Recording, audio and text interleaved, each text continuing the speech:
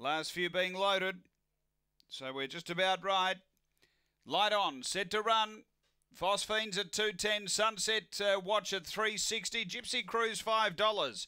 Away and racing, flying out My Mama Lease off the inside, led by too early over Phosphines. Uh, then Outbreak Girl, Gypsy Cruise, and behind those came Sunset Watch and Dallas Fernando. My Mama Lease led.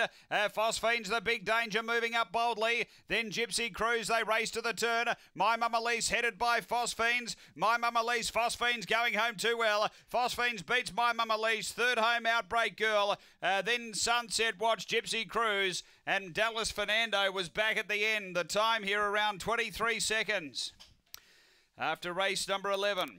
And uh, Fave gets in Phosphines, number four. Uh, she posied up second to the leader who flew out My Mama Lease, but uh, has been too good here, the favourite.